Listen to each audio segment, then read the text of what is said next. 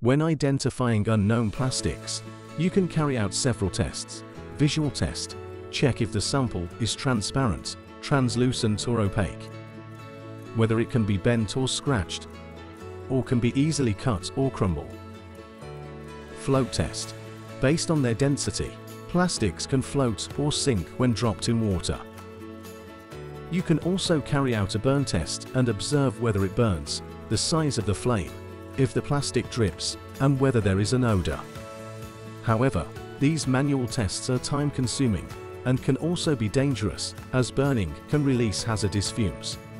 Unknown plastics can also be identified using near-infrared spectroscopy.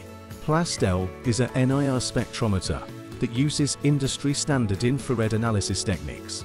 When scanned, different materials will have different spectra, and we use this to identify unknown plastics. PlasTell provides a safe and quick way to identify plastics and carry out repeatable and accurate measurements in seconds. For more information, visit us at matoha.com.